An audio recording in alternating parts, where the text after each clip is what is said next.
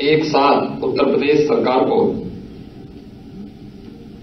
लगभग तेरह चौदह विभागों को सात सौ पिचानवे अधिकारी और कार्मिक प्राप्त हो रहे हैं। मैं इस अवसर पर आप सबके चयन के लिए आपको बधाई देते हुए आप सभी का उत्तर प्रदेश के प्रशासन का हिस्सा बनने के लिए हृदय से अभिनंदन करता हूँ। उत्तर प्रदेश में कार्य करना। देश के किसी भी अधिकारी और कार्मिक को के लिए गौरव की बात होती है। यह मान्यता है कि जिस अधिकारी और जिस कर्मचारी ने उत्तर प्रदेश के अंदर कार्य किया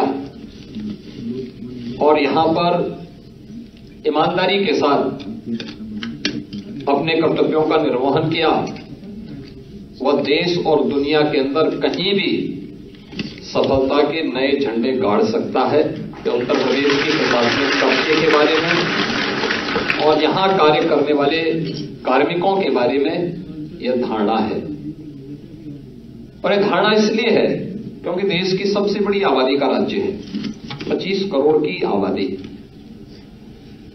और 25 करोड़ की आबादी की इतनी बड़ी आबादी के बीच में शासन की योजनाओं को पहुंचाना इतनी बड़ी आबादी के सामने, पूरी पारदर्शी तरीके के साथ, अपनी कार्य पद्धति के माध्यम से कुछ मूल्यों और आदर्शों की स्थापना करके अन्य लोगों को उस दिशा में प्रेरित करना एक बड़ा दायित्व है।